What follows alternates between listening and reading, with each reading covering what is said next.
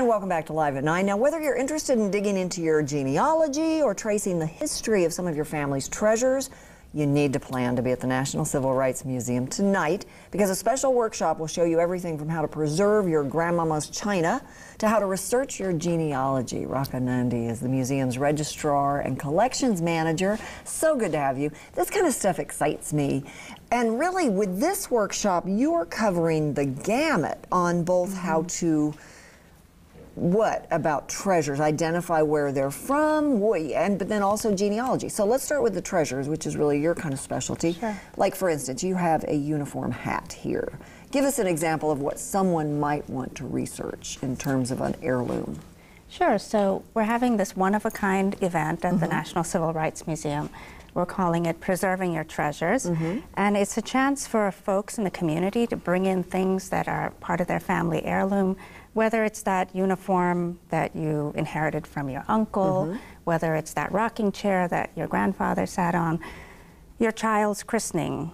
Um, that's uh, been passed That's down. been, yeah. Uh, so that's a sort of thing that we hope people will bring. Well, like and if someone brought this uniform hat, what would you be able to tell someone about their ancestry through that?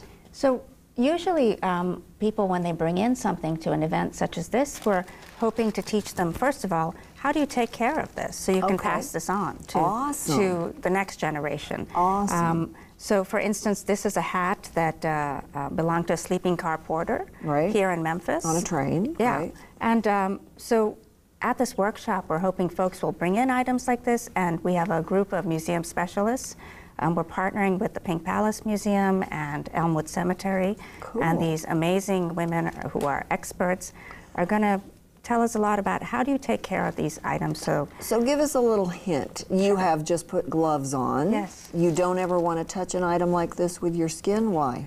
So often, you know, these kinds of um, textiles um, are fragile, mm -hmm. and gloves are a nice way to protect um, the item because we from always oil, have oil and dirt on our hands. So okay. a pair of clean white gloves is a nice protective barrier to okay. have. And a hat like this is made out of many different materials. So it has leather, it has cotton, it has patent leather, it has some metal on it.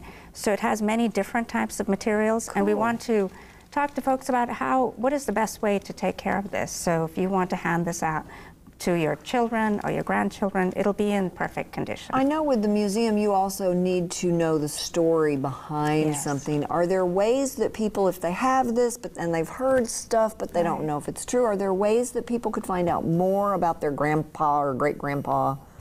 Sure. Through an item like that? Can you can you help give them guidance on that? Absolutely. So one of the things that we always do at museums is we're always looking for the history of the object, right. the provenance of the object. So just as humans, as people, we have a history, so do objects. And it's one thing that we can always uh, uh, guide people on where they should start their research gotcha. on, on, on, an item like this. So for instance, there's a lot of information out about sleeping car porters.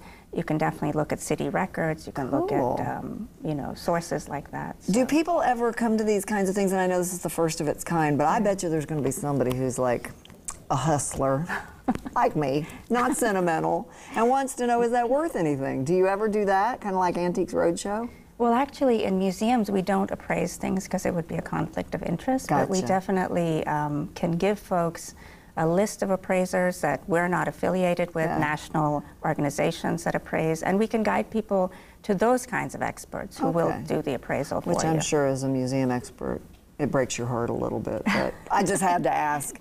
Thank right. you so much. So the event is tonight. It starts at 6.30. Bring an item in. Don't bring a truckload. And there's also right. going to be some experts on genealogy and tracing your roots. And it's just so cool. I hope I can come. Thank Please you, do. Raka. Appreciate it so much.